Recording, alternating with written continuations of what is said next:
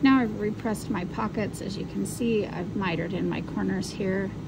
And I do those first so that the two longer spaces overlap. I don't have this sewn down, which means every time my hand goes in my pocket, it'll catch this. So I'm gonna hem this, but I'm gonna decide on the front if I'm doing one row of top stitching or two rows of top stitching.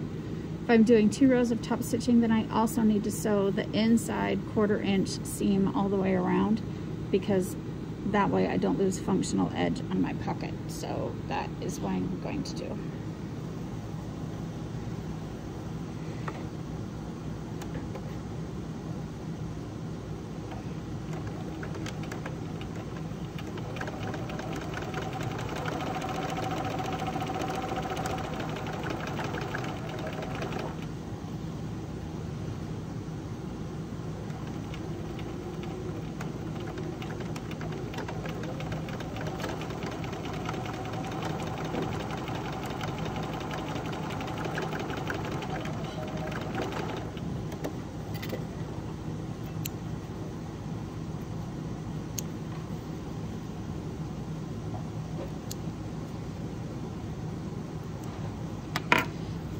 You can see this is sewn down. If you're uncertain, I would use a ruler and a friction pen and I would mark your stitch line just to make sure that you know where that is so you can keep it even and exact on both pockets.